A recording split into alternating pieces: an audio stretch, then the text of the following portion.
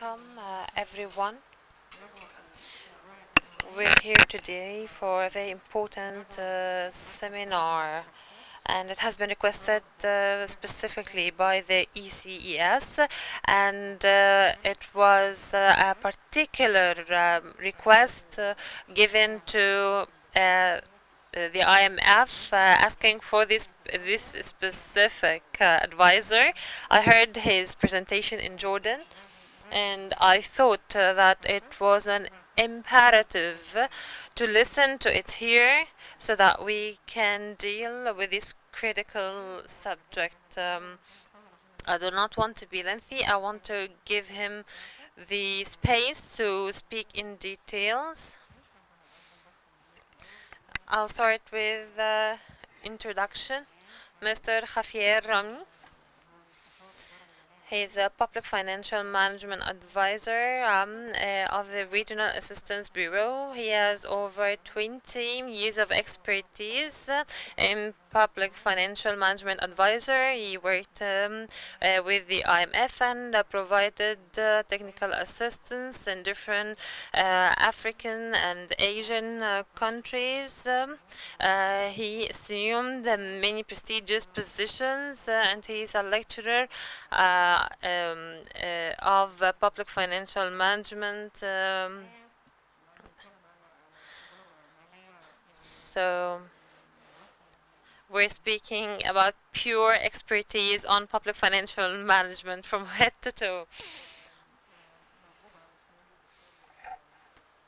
On my uh, left-hand side sits um, the rep representative uh, of the IMF uh, here and he worked uh, in Romania's uh, office and he was uh, the head of the uh, financial policies at the IMF, assumed different positions in Jamaica, Greek, um, Ukraine. he, ha he has a lot of publications. Mr. Ahmad Kouchouk. He is the uh, deputy of the Ministry, Minister of uh, Finance. He previously assumed many prestigious positions in the Ministry of Economics uh, and uh, the American University in um, Egypt, and he has many publications. After the introduction, Mr. Javier is going to give his uh, presentation and then we are uh, going to listen to Mr. Ahmed Kouchouk uh, about what we're doing here in Egypt. Uh, we do not have any media representation here, uh, particularly in order to talk openly with uh, transparency. We're not uploading the government, but uh, we are trying to improve our way of managing things. Shukran, Dr. Rablas Balkhir. very good morning. It is a great pleasure to welcome honorable members of parliament, Vice Minister Ahmed Kouchouk and other distinguished guests to this event that we organized with the ECES on a topic that is extremely important. I wanted to, in my welcoming remarks, talk about two very brief points. Um, the first is to put this in the context of the IMF's work in Egypt, the relationship that the IMF has with Egypt. A lot that you hear about the IMF in media is with regards to the loan that is supporting the government's reform program. And that is indeed important. But an equally important part of our relationship, if not more important, is with regards to technical assistance, which gets less coverage in media, but is independent of the loan and the program. This technical assistance that we have been providing in a number of different areas seeks to bring together international best practices taken, taking into account country specific considerations. It produces a series of recommendations. These are not conditions, but these are recommendations and a plan for the authorities to consider to address the issues that they face. This has a longer time span than the life of a loan program, and over the past, um, the time that I have been here over the past one year and before, uh, we have been supporting technical assistance in a number of areas such as budget preparation and execution, uh, fiscal transparency, strengthening revenues through reforms in the ETA, and also in non-fiscal areas such as statistics and central bank supervision and changes to the central bank law. And the event today is an example of the way in which we can support a country's reform efforts in technical assistance. And indeed, Xavier, who kindly agreed to come from our regional training center in Beirut, META, has led one of the technical assistance missions before to Egypt. Now, while technical assistance is another way, uh, important part of our relationship, the third important point that I want to mention with regards to the role of the IMF is the analysis that we produce at a regional and national level. So if you are interested in how Egypt compares to other countries in specific areas, such analytical products papers and reports that we produce allow us to communicate this analysis to you. And specifically on the topic that we are discussing today, budget transparency, such products allow us to also communicate the progress that Egypt has made over the last few years compared to other countries. So, um, and this, in fact, is the second point that I want to make in my welcome remarks, is with regards to the reforms that have been undertaken in Egypt. The Honorable Vice Minister will be talking about this more in his presentation, but for my part, I just wanted to make two big picture points. One is that if you take a step back and look from a longer term perspective, the amount of information being made available today with regards to publication of budget related documents both for the preparation phase as well as the execution phase you compare what is happening now to what was happening earlier between 2011 to 2014 and there is a very marked improvement in the dissemination and communication of that information so that's the first point that I wanted to make. And, and a second point that I wanted to make is with regards to the establishment of a fiscal transparency unit in the Ministry of Finance. And, and this unit will go a long way to institutionalize some of the reforms that have already been undertaken. Let me stop here, but just I will mention to you that um, I am based here in Egypt, and it would be my pleasure and honor to be able to continue this conversation with you in any form that I can and to be able to provide you with any information that you may be interested in with regards to the IMF's work in Egypt as well as the IMF's views more regionally. Thank you. Let me welcome Javier for what I hope will be a useful and a important presentation. Thank you. Thank you very much, Reza. I'm sorry I don't speak Arabic, so I will uh, speak English this morning. As I said by Reza a few minutes ago, I'm part of the technical assistance of the IMF. Uh, usually we are the smiling face of the IMF. We are not providing uh, hard conditions, we are providing advice to our membership, our best technical advice. It's recommendation, and it's up to the country to implement the recommendation we are providing. I'm currently based in Beirut, in Lebanon, and I'm covering, as you can see on this map, 14 countries of the region, from Morocco to Afghanistan and from Djibouti to Syria. And uh, I'm very grateful to Dr. Abla to have set up this meeting. We met in Jordan uh, a few months ago, and we had an extensive discussion on the question of uh, transparency. I've been working on this topic extensively in many parts of the world, South America, in Brazil, for instance, a lot in Africa, but also in the Philippines and Southeast Asia. And I think that in the region, we have a real challenge regarding this topic. This graph is based on uh, the data provided by uh, an international survey prepared by a civil society organization called the International Budget Partnership. Every two years, they review the, the conditions of uh, budget transparency in 112 countries around the world. And they have a mechanism to score the condition of budget transparency. This graph shows you what is the situation for the MENA region. And it gives you a few information. The first one is that if you take a look at the overall performance in the MENA region, it's the worst region in the world. I did not provide the comparison with other parts of the world, but when you take a, a look at the average scores of the country in the region, it's twice below what sub-Saharan Africa is performing, meaning we have a huge deficit in terms of fiscal transparency. The translation is back, so. Okay, but to be cautious on this, in uh, 2015 you had a change in the methodology, so you have always to be cautious about the numbers.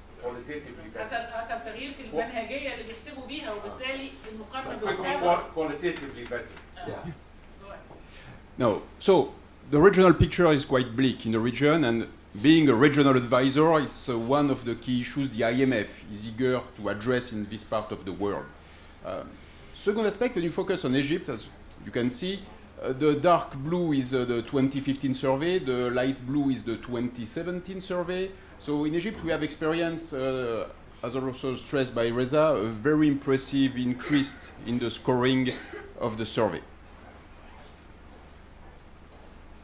So I will just touch on a few topics. First, I will uh, quickly introduce why uh, we consider that fiscal transparency is an important topic. I will then introduce a few points on uh, international standards in this area. Also discuss the challenges based on the experience we have in this area in achieving fiscal transparency. It's not easy. And uh, just to touch a little bit on the question of the parliament and budget oversight. So first the definition. So at the IMF, we do not talk about budget transparency most of the time. We talk about fiscal transparency. So you have a distinction in English. And uh, mostly the fiscal provide a broader scope of public finance. So we are mostly interested, I will get back to this later, we are interested in the broader picture of public finance and we do not focus only on the budget of the central government. And it's an important point and I will show you a few examples in a few minutes of why it matters. When we talk about fiscal transparency, uh, we are interested in mostly three key dimensions. The first one is the question of availability of information. And when we say availability, it's on not only availability for the general public, but in many countries there are being information available for the decision makers, being the Ministry of Finance, being the line ministries, being the policy makers.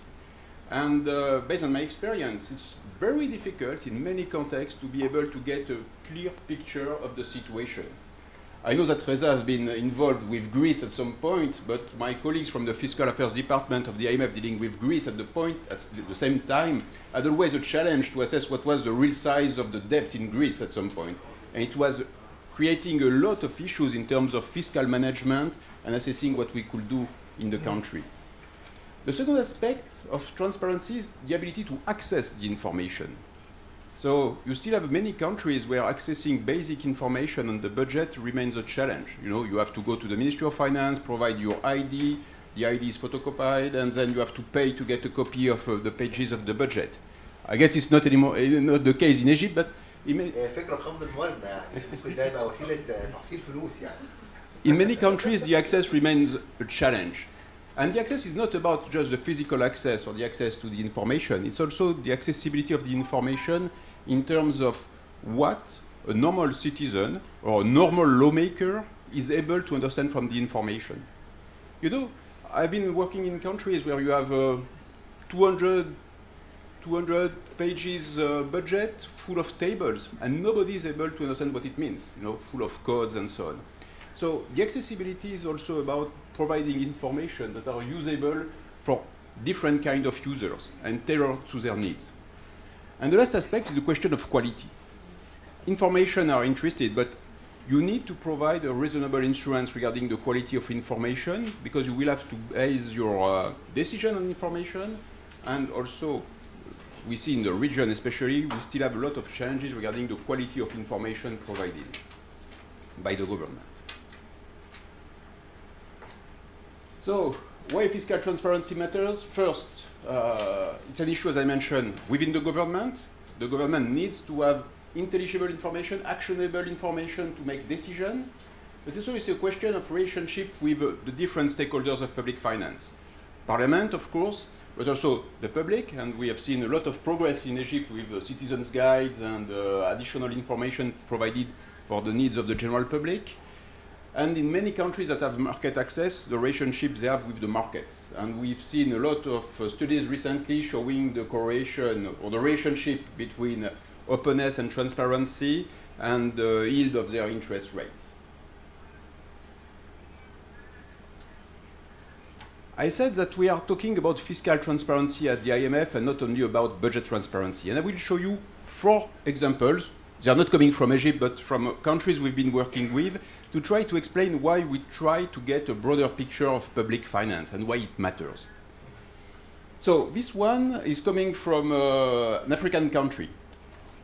What you can see in gray is the part of the budget, of the fiscal information that are provided in the budgetary documentation.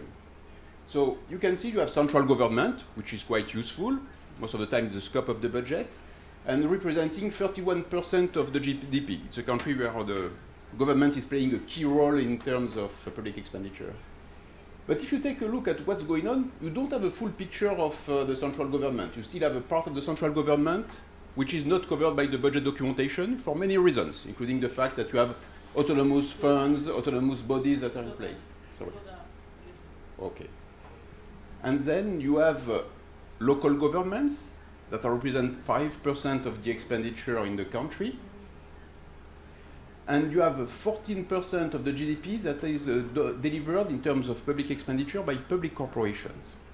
So what it means, it means that when the parliament or the citizens are looking at the budget, they are missing about 40% of the total fiscal activities.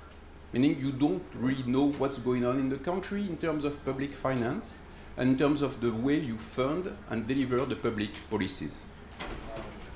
That's why more and more we put the emphasis on trying to get a broader picture about the public sector as a whole and to get additional information to understand what's going on, not only with just the budget, but what's going on with uh, the public corporations, what's going on with the subnational governments. So it's important in terms of fiscal transparency to look beyond the sole budget. You have to try to understand what is going on in the overall public sector because at the end of the day, all these components of the public sector are interacted. And also, they are created a risk for the budget. The second aspect, which is uh, gaining more and more traction uh, over, I would say, the last 20 years in many countries, is the question of the wealth of the government.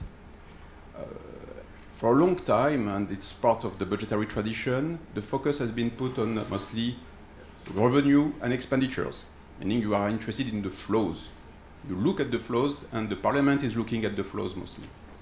But what also is important is to discuss the balance sheet aspect, meaning the assets and the liabilities, what uh, you control, and uh, the way you uh, and what you owe to your debtors.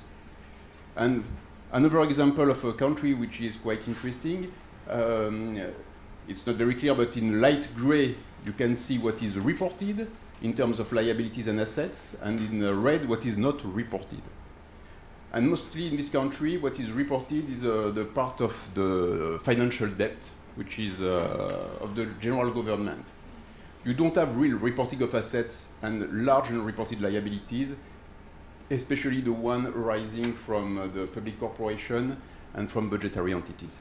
So meaning you don't really know what's the situation in terms of wealth of the nations. What are the impact of the decision you are making today on the liabilities and the assets of the government? We just uh, published a study on this topic at the IMF. It was part of a document we call the Fiscal Monitor. It has been published during the IMF and World Bank annual meetings uh, a few weeks ago. And it provides a lot of interesting information about why we need to focus today more and more on the way we use this. And also, something which is important for decision makers, your assets and your liabilities, of course, but your assets are the tools you have to deliver the public policies. So it's important to understand what are your assets, what's the quality of these assets, and what is the adequation between the liabilities you have created and the way you have been able to develop assets to produce public policies. Another aspect which is quite important when we talk about the fiscal situation is to have a look at the fiscal forecast. And uh, this is the case coming from a Central American country, which is a quite advanced country in many regards of fiscal transparency. And we took a look at the deviation we have uh, and the source of fiscal forecast error between initial budget and executed budget. And it was very interesting in this context to see that we have most of the time a very sharp increase of the executed budget between the initial uh, assessment. So for instance, uh, wages have been un underestimated by mostly 13% in this case, and the cost of local governments, mostly subsidies provided to local governments and parastatal funds, are also around 13.6%. Uh, so knowing what's the quality of the forecast is something which is important, should be part of the debate between the parliament and the government, and also with uh, the broader citizens. And in this case, it's quite interesting to see that uh, the wages are increasing in such a dynamic way. Uh, most of the time, wages are very rigid expenditure. Once you have increased the overall envelope of wages, it's very difficult to cut back. So you are creating long-term liabilities for the government and long-term commitments for the budget, uh, while at the same time you can see that the capital expenditure has been underperforming in terms of implementation. Last thing, which is important, is to understand the fiscal risks. The budget is a document where the government, in the best case, provides its best assumptions about what will happen, what will be the total revenues, what will be the expenditure, based on the best information they have at the time they table the budget. But it's also important to understand what are the risks around that could adversely affect or positively affect the way you will implement your budget. And we talk, for instance, in this case, about key fiscal risk related to what we call contingent liabilities, meaning it's not a debt, it's not a formal debt, but if an event occurs, it will create an expenditure for the government. So the usual example, in this case, it's guarantees, meaning the government has provided a guarantee to public corporations or to subnational government to get into a loan with uh, the banking sector. You have also guarantees uh, to the central bank, and you have also large liabilities from public corporations that if they materialize, will be taken over by the government. In many countries, it's the case in Egypt, you have critical public corporations that cannot get burst, meaning you will have to support the electricity provider, you will have to support the uh, corporation uh, providing services like water sanitation. So you have to understand what's the situation and how this situation could impact the budget of the government in the coming uh, months. So regarding the international standards, um, I would say that the last, uh, since the Asian crisis, mostly 20 years now, a lot of things have happened in this area. Uh, the Asian crisis was, uh, I would say, revealed the weaknesses of the overall framework to assess and to understand what was going on with the situations of government and countries. Uh, we had a lot of weaknesses both in public and private financial reporting. Um, uh, we had not a clear understanding of the linkages between both the public and the private sector. So at the time of the Asian crisis, we had a general movement that started to try to improve the overall global framework for understanding what's going on. So you had the first, uh, the IMF Code and Manual on Fiscal Transparency. So it was 20 years ago. I guess we should celebrate uh, it at some point. Um, you had also the OECD working on best practices for budget transparencies for uh, its membership. Um, you have a lot of developments around the statistical standards. And you have also the emergence of accounting standards for the public sector. It's called the International Public Sector Accounting Standards. It's a set of uh, standards that provide information about how you should prepare financial statement from the central government as you, for the government as you prepare the financial statement of a corporation. At the same time, you have the development of uh, many different frameworks to monitor fiscal transparency, from multilateral initiative like uh, the report uh, on standards and code, what we call the ROSCs, uh, the fiscal transparency evaluation of the IMF, for instance, a lot of regional bodies also playing a key role. In uh, Europe, the key player is Eurostat, because at the end of the day, they make the decision on how you will qualify if something is a debt or an expenditure. Um, you have a lot of work in Africa, in sub-Saharan Africa, about regional harmonization with more surveillance at the level of the region, the economic region. And also in the, say the recent period, we have the emergence of a very active movement within the civil society, including a survey like the one I mentioned, I used a few minutes ago, uh, the Open Budget Survey. So you have a stronger, I would say, uh, framework, international framework to be used to improve fiscal transparency with standards. And I always advise my member countries to refer to the standards. I've been working in a country where we are, I guess, some of the smartest people in the world, and we always like to invent national standards, but at the end of the day, using the technology that has been developed by other people save money, save time, and allows, allows us to uh, benefit from uh, other countries' experience. I mentioned the 2014 Fiscal Transparency Code of the IMF. So we made an update. The first version was in 98, and we had to make an update mostly to take into account the lessons learned during the great financial crisis. Um, so I won't go into the detail, but um, the question, you can refer the document, you will have the link at the end of this presentation. Um, I guess we uh, want to emphasize a few key aspects. I already mentioned them. The first one, when we developed the new code, and I was part of the team, uh, the first thing is to have a look at the full public sector picture. It's important. Don't just focus on the budget, take a look at what's going on outside the budget.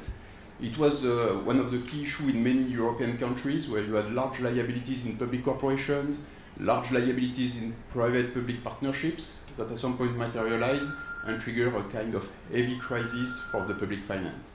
But also link from uh, contingent liabilities, like what are the risks created by the banking sector? When you take a look at the materialization of some financial crises as an impact on public finance, they can be really severe. So it's important to take a look at the quality of the risk management of the banking sector and its potential impact for the government.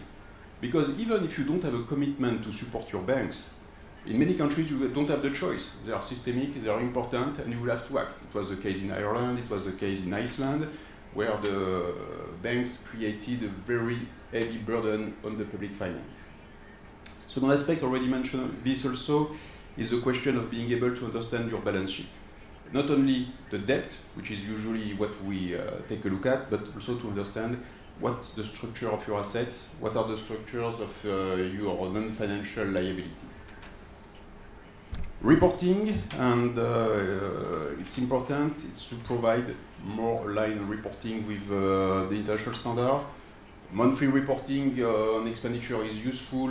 Having uh, audited financial statements at the end of the fiscal year is important, meaning playing with as part of the role of parliament in many countries to work with the supreme audit institution to get information about what's the quality of the accounts prepared by the government. In some countries, it's really important, like in Brazil, where the president was impeached on issues raised by the Court of Accounts on the way they uh, circumvent the fiscal rules in the country. and last, uh, something also which is uh, important, I mentioned the question of accessibility. You have to provide information about how the different documents are just working together. Statistics, budget, financial accounts. It's not easy to use, but you have different concepts in place, so it's uh, always a key issue to be able to make the link between the different kind of information you are provided and to provide explanation. And I guess in Egypt we have a very strong uh, way to approach this through the citizens' budget. So this being said, it's a challenge in many countries to achieve fiscal transparency. Uh, we have a lot of aspects of non-transparency that are uh, at play. The first one, you have the usual issue about partial information. You present net expenditure, which is, uh, but you don't know what are the size of the uh, expenditure or the gross expenditure. You don't have information on uh, off-budget entities. And in some cases, they could be very significant, creating significant expenditure for the government. And also you don't have information on assets and liabilities. Uh, it's always a challenge to develop this kind of information. It takes time, but uh, there are kind of roadmaps uh, to develop this and to, uh, over the time, make it more comprehensive in the way you disclose this information. The second aspect is a question of information that is difficult to understand. You have to prepare information in a way that allows them to be used. Uh, information that are not available on the internet are not really useful because nobody will access them today. They have sometimes to be on the paper, but you know you need to make them really accessible to the users. And the last think about the aspects of non-transparency is the question of uh, weaknesses in accounting rules. You know, you can sell assets and treat this as revenue to improve uh, your deficit. You have many tricks for uh, all the people who have been involved in budget uh, matters to make sure you will meet your targets, whatever the targets. And whatever the system of public finance you use, you have always tricks that could be in place um, it's interesting to be able to understand the operation and to see what are their impact. Regarding the challenges, uh, we have a few of them. Uh, the first one is the being able to gather the information. It seems easy, but uh, I've been working on this for years. It's really a challenge. Even in a country like mine, where we have a very old and well-organized uh, system, it's difficult because you have IT system issues, you have a lot of practical issues, not only willingness, but really practical and technical issues to be able to gather the information, to centralize it, to make it accessible. Uh, quality of data, it's a challenge uh, most of, uh, in most of the countries I've seen, uh, both in terms of uh, quality of the data themselves, but also on the way you collect them. And then you have, I would say, um, more political issues. The first one is what uh, many people fear, it's a question of what we call media negativity. meaning, when you put information in the public, you have always a kind of fear that it will be used in a way that will not uh, be uh, very uh, supportive of your reform effort. So it means that you have to do the extra mile and to explain. You know, it's like in the private sector when a bank or a, private corporation is providing its financial statements, they do a lot of efforts in terms of financial communication to try to convey the right message and to uh, shape the message they want to address. So it's part of the work. But also it's uh, part of the work of the Ministry of Finance to provide, uh, I would say, the training, the information to the users of the, the information. I remember 10 years ago I was meeting with uh, the French uh, uh, Finance Commission at the Parliament. And it was the time we produced the first accrual accounting statements for the French government and nobody was really able to understand the information we are providing. So we have to we had to spend a few weeks to just train the staff of the Finance Commission and work with the key players within the Commission, the key members of the Parliament involved in these affairs, to be able to convey the message, help them to analyze the information, give them the tools to understand the information, and the way they can uh, use it. So I think it's a kind of win-win relationship uh, when we want to overcome this kind of challenge. So why countries want to achieve uh, more fiscal transparency? I guess Mr. Kouchouk will provide uh, the Egyptian experience, but what we can see is uh, we have a traction which is related to the development of uh, democratic systems, where you want to have a more open public debate. Um, most of the time, the real traction is the outcome of crisis, meaning you are, you are by a heavy crisis, so you have to take a look at the information that are available, and you are trying to put in place mechanisms to ensure fiscal discipline and to improve the scrutiny on information. External players are also important. I guess the IMF in some countries is trying to, uh, to improve uh, fiscal transparency because uh, we consider it's a key issue. But also in countries that have market access, it's a question of relationship with the market and also the rating agencies. Rating agencies are looking at a set of information and uh, they will just make you pay if you are less transparent. It will have an impact on your interest rates. And then you have the question of uh, large corruption issues that get kind of critical uh, aspects that will provide, uh, provide uh, in some countries room to uh, trigger reforms in terms of fiscal transparency and to develop access to fiscal information. It was we seen, for instance, in uh, Mozambique, we are following a very large uh, fiscal crisis triggered by corruption uh, affairs. We had an overhaul of the public financial management system. So, still referring to the 2017 uh, Open Budget Survey, if we take a look at the legislative oversight on budget in the MENA region, um, you can see that mostly uh, the scores are not so, the average score are not so good, um, and that uh, legislative oversight could uh, improve.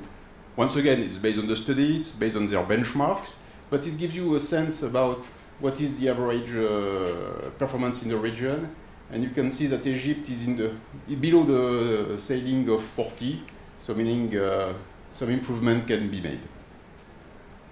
If we take a look at key aspects of Parliament oversight on budget, uh, we can have broadly five key categories. Uh, the first one is the quality and the importance of the debate on budget policy prior to the budget itself.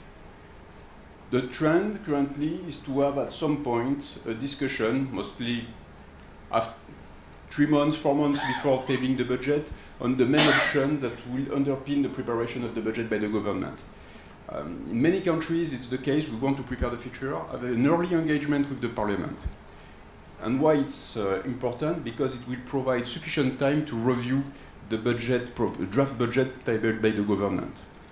And also, second aspect of oversight, the parliament needs to have sufficient time to review the budget and to uh, analyze it.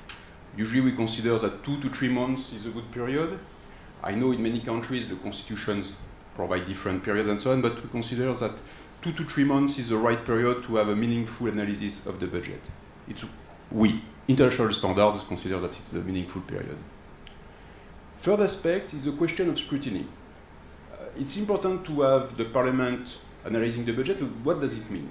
It means that first you need to have a discussion at the level of the sectors, the depending of how you are organized, but let's say you have, uh, not familiar with uh, the parliament in Egypt, but let's say you have a commission in charge of culture, a commission in charge of interior uh, committees, and the committees should first have a look at the budget for the sectors they're dealing with, and a real review of the budget.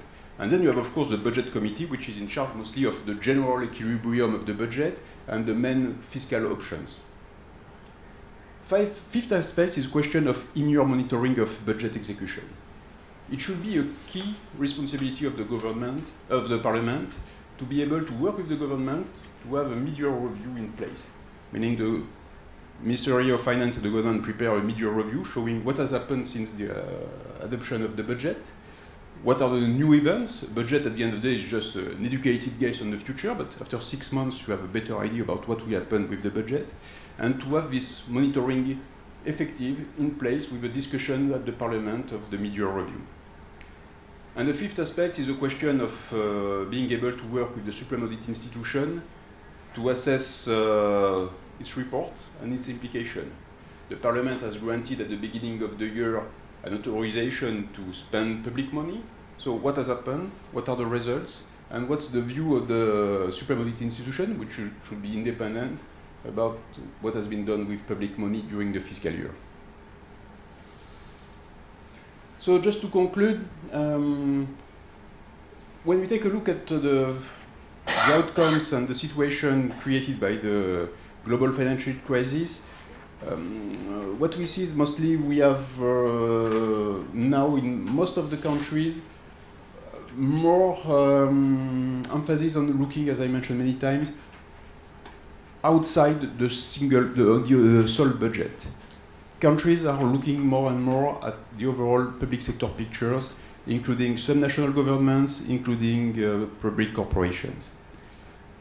Second aspect is the question of uh, fiscal risk.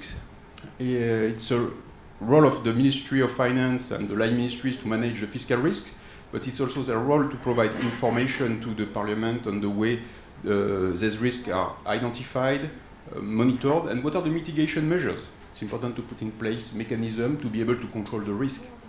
Uh, for instance, if you have guarantees, what is the framework for granting guarantees? How do you assess the risk of the guarantees and how you can uh, cope with them if they materialize? It's important when you have uh, the design of uh, public financial management system to make sure that you have information on the past.